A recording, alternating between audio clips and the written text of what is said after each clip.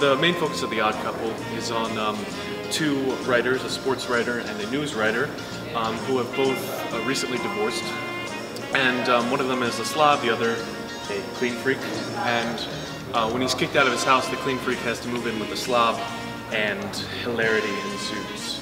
Yes, the slob doesn't exactly like his new peace of being divorced interrupted by this clean individual. Uh, and uh, a lot of conflict ensues from that, much to the uh, audience's enjoyment. The Odd Couple was written by Neil Simon and uh, first premiered in New York on Broadway in the early 1960s with Walter Matthau playing uh, the role of Oscar. It then went on to be a movie in 1968, also starring Walter Matthau, but with Jack Lemmon playing Felix.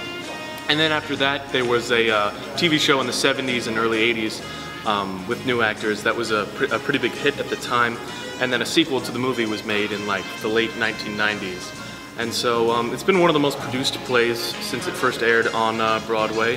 And it's a lot of fun, really successful, a lot of spin-offs. So um, we've had a lot of fun with it. If you have the time on May 7th through 10th, come and support uh, the seniors and all the members of the cast in the spring comedy, The Odd Couple.